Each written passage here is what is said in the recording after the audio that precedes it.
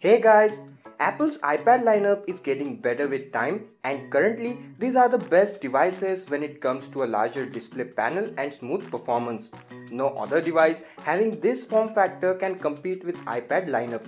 Now some recent reports suggest that Apple could launch a new 10.8 inch iPad in later part of this year plus there are more iPad variants coming next year. So there's lots of exciting news that we are gonna discuss in this video. But before that, I'm Raj and now let's get in. If you are curious about the iPad Pro model which will be arriving in 2021, I've already made a dedicated video on that so if you are interested, link is in the cards.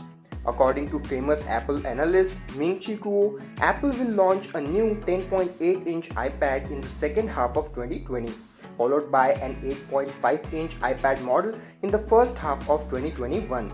According to his report, it's unclear if the rumored 10.8 inch iPad will also be a new version of existing iPad models, but the new 8.5 inch iPad is said to be a new version of iPad mini. Interestingly, Kuo had recently tipped that iPhone 12 models won't include Apple AirPods and power adapter inside the box which is a bit surprising as a power adapter is a very basic thing that we expect in the box. But according to Kuo's research note, which was reported by Mac Rumors, the new 10.8 inch and 8.5 inch iPad models will likely include a new 20 watt power adapter inside the box, which is a huge relief. Now before moving forward, guys I cover all the iPhone 12 related stuff plus all the iOS and app videos for iPhones daily on this channel and I really don't want you to miss any of it so just press that subscribe button and also click on that bell icon.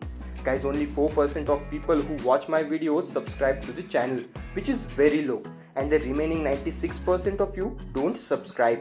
So just tap or click on that subscribe button because it's really easy and it's free and it will also help the channel a lot. Now coming back to the video, another report indicates that the 10.8 inch iPad could be part of the iPad Air lineup. A report from 9to5Mac claimed that the upcoming iPad Air 4 will feature USB-C port for connectivity. The next gen iPad Air could feature smaller bezels with a larger display and USB-C connectivity. It's possible that the new iPad Air also brings with itself Face ID for authentication, although there are conflicting reports on this as iPad Air refresh has also been claimed to get in-screen Touch ID. On the other hand, the new 8.5 inch iPad mini will stick with the lightning port for another year. For performance, the upcoming iPad Air and iPad mini models will feature Apple's A13 chipset under the hood.